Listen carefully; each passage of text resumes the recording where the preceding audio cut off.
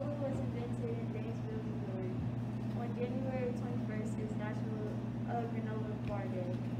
Granola is uh, contains brown sugar and puffed rice, and granola is baked to a crisp or toasted until golden brown.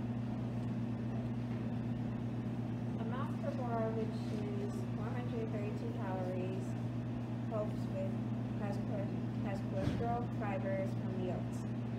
deliver nutrients such as protein, iron, and healthy fats and fibers for your body.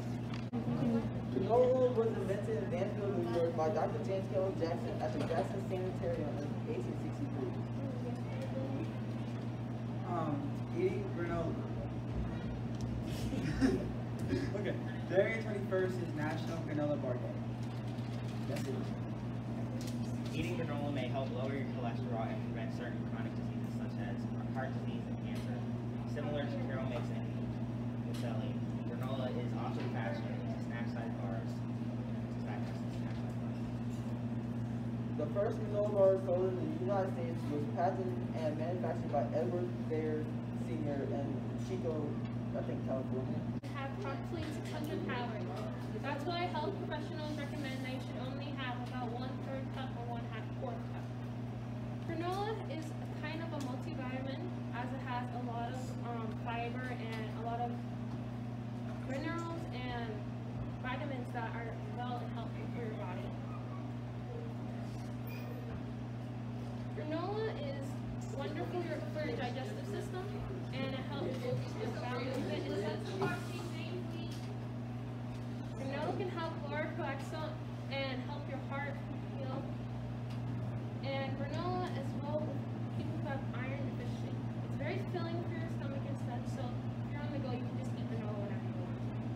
Awesome. Thank you, Caitlin.